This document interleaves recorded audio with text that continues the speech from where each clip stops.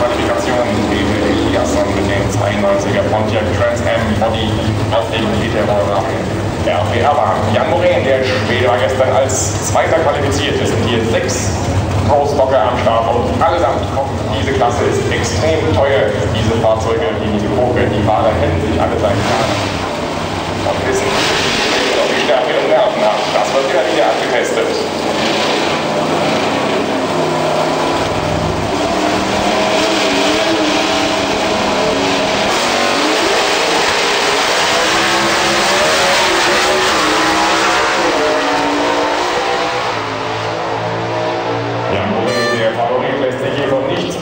Das ist das engste Rennen dieser ersten Runde.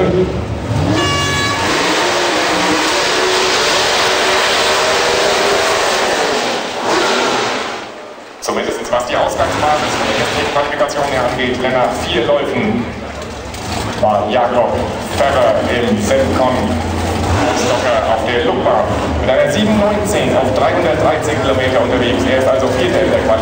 Der Dritte der Quali, das ist Markus Anzon auf der RPR-Bahn und er ist eine 7,18 gefahren mit 310 Kilometer in Geschwindigkeit.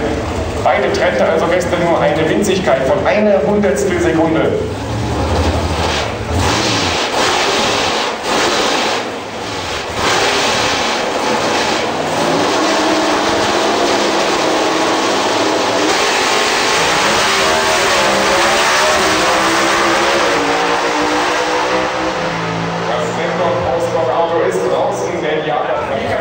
Malmgren mit einer 707 auf 317 sagt, war er gestern der schnellste nach vier Quali-Läufen.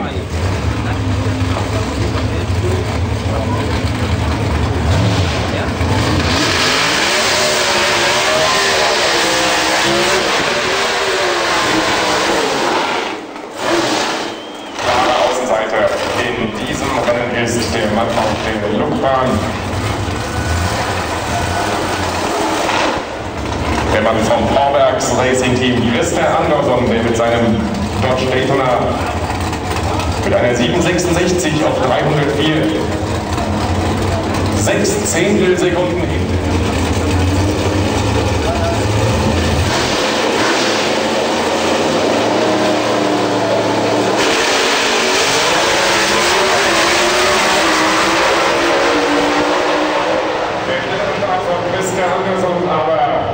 Die Power des AC